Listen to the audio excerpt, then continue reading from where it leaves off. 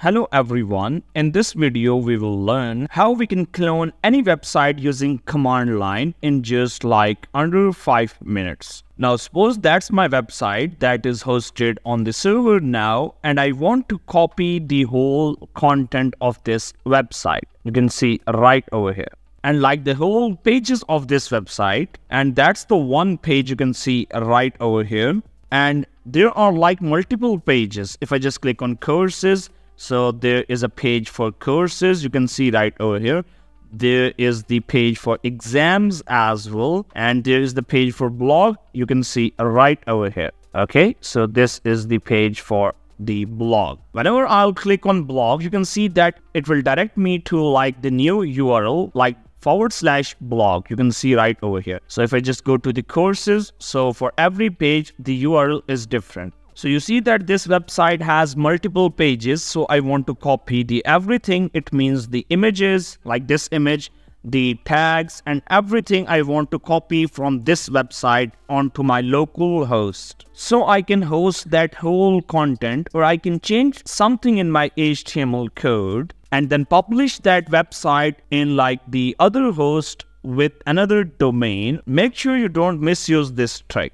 Okay, so now how we can copy the whole website data. First of all, you need to open up the terminal or like CMD. So I'll just simply open up my CMD. You can see right over here. Okay. Now I need to just navigate this thing to my desktop. I'll say CD desktop. Okay. So now I am inside of my desktop. You can see right over here. Alright, so the first thing you need to do is like download the wget software into your system. For that, you just need to type on Google like wget for Windows and this is the link that you need to open like GNU wget 1.2 1.4 for Windows. So I'll just open up this link and depending on your system, whether your system is like x86 or x64, you need to download the latest exe file. So I'll just click on this exe file and my exe file is just downloaded. Okay.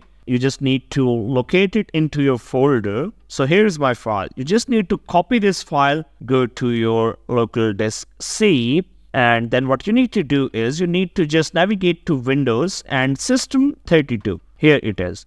And you just need to paste your file here. I'll just click on Control V it will just replace the file in the destination because I already did it. Okay, so I'll just simply skip for now because I already pasted this thing. Now I'll just go back to my CMD once again. So now if I just check wget in my uh, system, so it will like say something like that, missing URL and usage and everything. So now what I need to do, I need to give this command.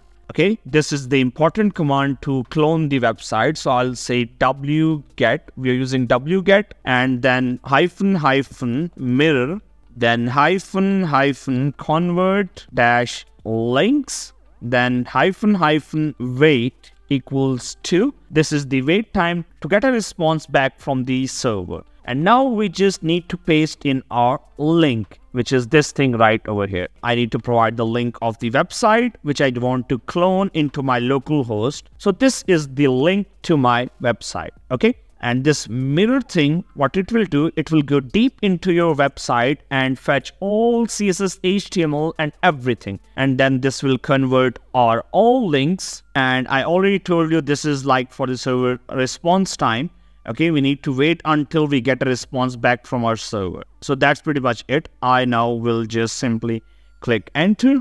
All right. So you see that it's connected. So it's like going to the file which is like index.html you can see right over here. Now it will take some time because this will fetch the whole website data like the images like the content everything which is available here. It will fetch all the data and then save with us. So this is how this thing will work. So I'll just wait for a while to see whether it's done or not.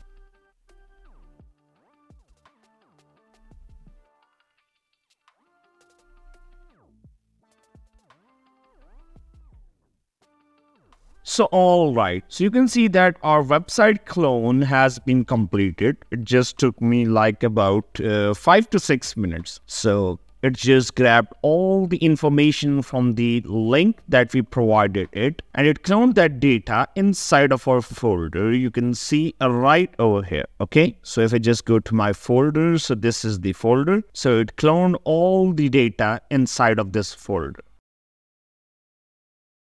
Alright, so you can see that I've just opened up my index.html file that was available inside of my folder and you see that our website is successfully being cloned, okay? So this is the index page of my website which is cloned, you can see right over here. Like this look exactly the same as it was looking on the uh, live website.